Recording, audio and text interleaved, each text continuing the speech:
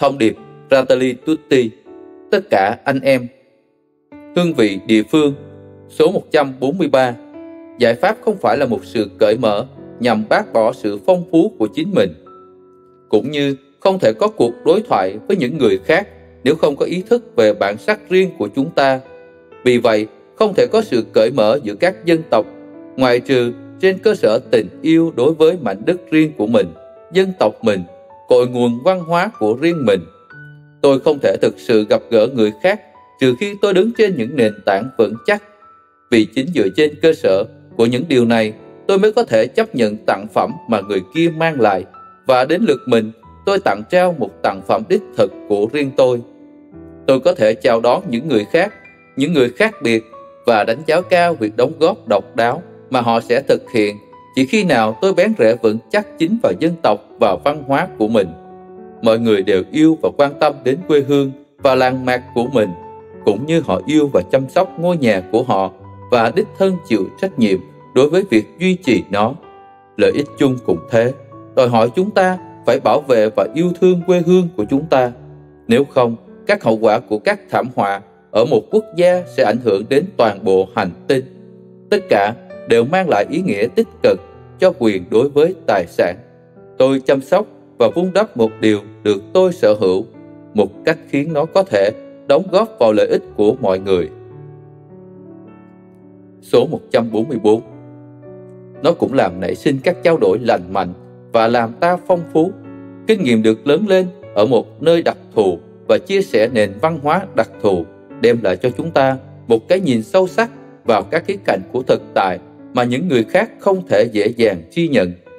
Yếu tố hoàn vũ không nhất thiết có nghĩa là nhạt nhẽo, độc dạng và được tiêu chuẩn hóa dựa trên một mô hình văn hóa đơn nhất đơn thịnh.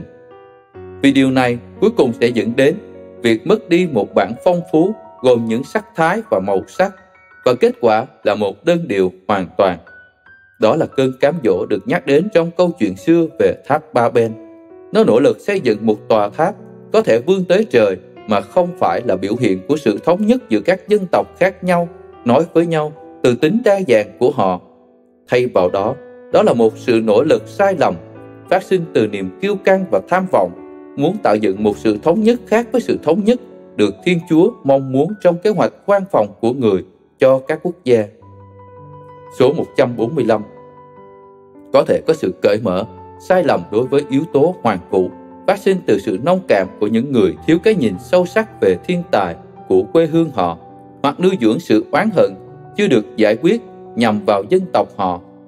Dù thế nào đi nữa, chúng ta phải liên tục phải mở rộng các chân trời của chúng ta và nhìn thấy một điều tốt đẹp hơn sẽ mang lại lợi ích cho tất cả chúng ta.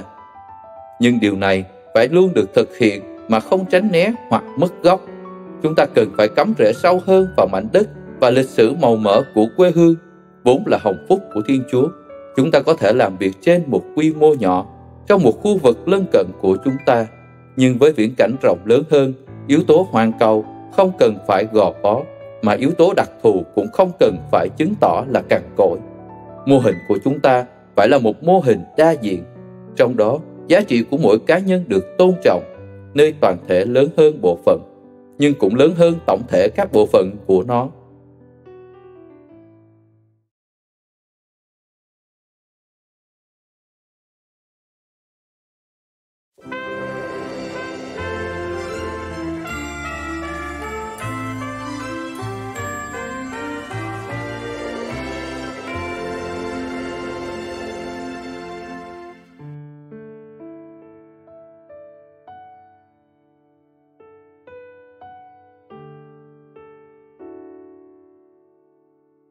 Thông điệp Fratelli Tutti, tất cả anh em. Một chân trời phổ quát, số 146. Có một tình yêu mình, thái quá có tính địa phương, không liên quan đến tình yêu lành mạnh đối với dân tộc và văn hóa riêng của mình. Nó phát sinh từ một nỗi bất an và sợ hãi nào đó về người khác dẫn đến việc bác bỏ và mong muốn dựng lên một bức tường để tự bảo vệ. Tuy nhiên, không thể địa phương một cách lành mạnh nếu không có chân thành cởi mở đối với phổ quát, không cảm thấy được thách thức bởi những gì đang xảy ra ở nơi khác, không có sự cởi mở để làm giàu bởi các nền văn hóa khác và không có tình liên đới và quan tâm đến những thảm kịch đang ảnh hưởng đến dân tộc khác. Thay vào đó, lòng yêu mình thái quá địa phương chỉ lưu tâm đến một số ý tưởng, phong tục và hình thức an ninh hạn chế. Không có khả năng chiêm ngưỡng tiềm năng rộng lớn và vẻ đẹp được thế giới rộng lớn hơn cung cấp.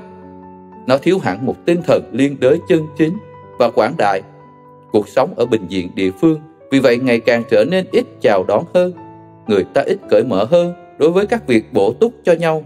Các khả thể phát triển của nó hạn hẹp dần, nó trở nên mệt mỏi và ốm yếu.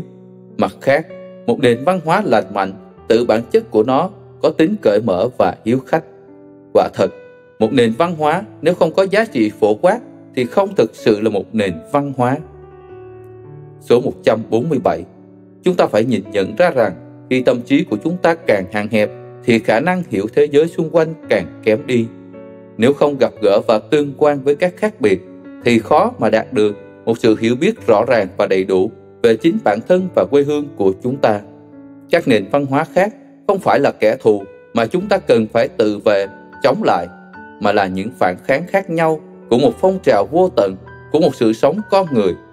Nhìn bản thân chúng ta theo quan niệm của người khác, của một người khác biệt, chúng ta có thể nhận ra tốt hơn những nét độc đáo của chúng ta và của nền văn hóa chúng ta, sự phong phú, các khả thể và hạn chế của nó. Kinh nghiệm địa phương của chúng ta cần phát triển tương quan với và hài hòa với các kinh nghiệm của những người khác sống trong bối cảnh văn hóa đa dạng. Số 148 Thật thế, sự cởi mở lành mạnh không bao giờ đe dọa bản sắc riêng của người ta. Một nền văn hóa sống động được làm bởi các yếu tố từ những nơi khác, những du nhập những bản sao đơn thuần của những yếu tố mới đó, mà hòa nhập chúng vào một cách độc đáo riêng của nó. Kết quả là một cuộc tổng hợp mới, một cuộc tổng hợp cuối cùng có lợi cho mọi người vì nền văn hóa nguyên gốc kết cục được nuôi dưỡng. Đó là lý do tại sao tôi đã thúc giục người dân bản địa quý trọng cội nguồn và văn hóa tổ tiên của họ. Mặc dù cùng một lúc tôi cũng muốn nhấn mạnh rằng tôi không có ý định đề nghị một chủ nghĩa duy bản địa hoàn toàn khép kín, phi lịch sử, tĩnh tụ, muốn bác bỏ bất cứ kiểu pha trộn nào. Vì bản sắc văn hóa riêng của chúng ta được củng cố và phong phú nhờ đối thoại với những người không giống chúng ta. Danh tính chân chính của chúng ta không được bảo tồn bởi một sự cô lập nghèo nàn. Thế giới phát triển và tràn ngập những vẻ đẹp mới nhờ các cuộc sống tổng hợp tiếp theo nhau được tạo ra bởi các nền văn hóa biết cởi mở và không có bất cứ hình thức áp đặt văn hóa nào. Số 149 Đối với mối tương quan lành mạnh giữa tình yêu quê hương và đất nước và cảm thức lành mạnh được thuộc về một gia đình nhân loại lớn hơn của chúng ta. Điều hữu ích là ghi nhớ rằng xã hội toàn cầu không phải là một tổng số các quốc gia khác nhau mà là một sự hiệp thông hiện hữu giữa họ. Cảm thức hỗ tương được thuộc về nhau có trước việc xuất hiện các nhóm cá thể. Mỗi nhóm đặc thù trở thành một phần cơ cấu hiệp thông phổ quát và ở đó khám phá ra vẻ đẹp riêng của nó.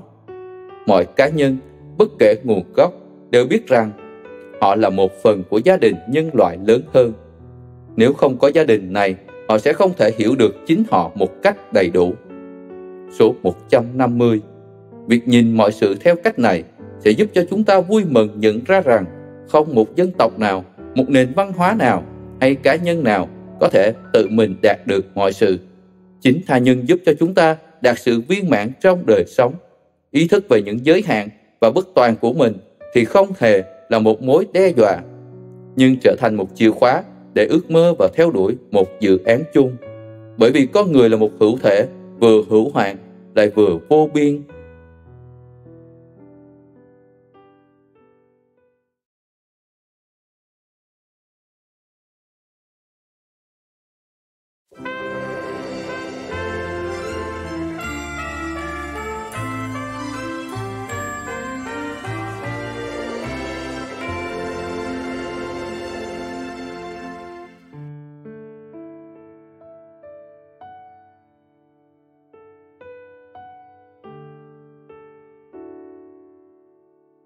Thông điệp Fratelli Tutti, tất cả anh em, xuất phát từ các khu vực của mình. Số 151 Nhờ việc trao đổi trên bình diện các khu vực, từ đó các nước nghèo mở ra với toàn thế giới và tính phổ quát không nhất thiết dập tắt những nét đặc thù của các khu vực khác nhau. Một sự cởi mở đầy đủ và đích thực với thế giới giả thiết khả năng mở ra cho những người thân cận trong gia đình và các dân tộc. Hội nhập văn hóa, kinh tế và chính trị với các vùng lân cận cần được gắn liền với một tiến trình giáo dục giúp cỏ vỏ giá trị tình yêu đối với láng giềng. Đó là một bài tập cần thiết đầu tiên để đạt được sự hội nhập phổ quát và lành mạnh. Số 152 Ở một số khu vực bình dân, tinh thần tình làng nghĩa xóm vẫn được duy trì. Ở đó, mỗi người tự phát cảm thấy có bổn phận phải đồng hành và giúp đỡ hàng xóm. Ở những nơi mà các giá trị cộng đồng được gìn giữ, người ta kinh nghiệm sự gần gũi in dấu ấn với lòng biết ơn, tình liên đới và sự hỗ tương. Tình làng nghĩa xóm mang lại cho họ một cảm thức về bản sắc chung.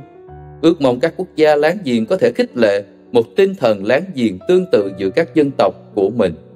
Nhưng tinh thần cá nhân chủ nghĩa cũng ảnh hưởng trên các mối quan hệ giữa các quốc gia. Sự nguy hiểm khi nghĩ rằng chúng ta phải tự vệ để chống lại người khác, coi người khác là đối thủ cạnh tranh hoặc là kẻ thù nguy hiểm. Điều đó cũng ảnh hưởng đến các tương quan giữa các dân tộc và cùng một khu vực. Có lẽ chúng ta đã được huấn luyện trong cảm thức sợ hãi và ngờ vực như thế. Số 153 Có những cường quốc và những doanh nghiệp lớn hưởng lợi từ sự cô lập này và thích đàm phán riêng với từng quốc gia. Ngược lại, đối với các nước nhỏ hoặc nghèo, có khả năng đạt được các thỏa thuận trong khu vực với các nước láng giềng, cho phép họ đàm phán như một khối và tránh trở thành các phân khúc phụ thuộc vào các cường quốc khác. Ngày nay, không có quốc gia dân tộc nào sống biệt lập mà lại có thể đảm bảo được lợi ích chung của dân mình.